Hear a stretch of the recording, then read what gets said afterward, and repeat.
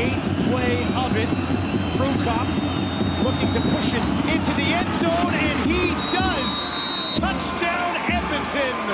Fourth of the season for Prukop. And the Elks go on top 18-13. That's how quickly it can turn, especially in the fourth quarter, late in games.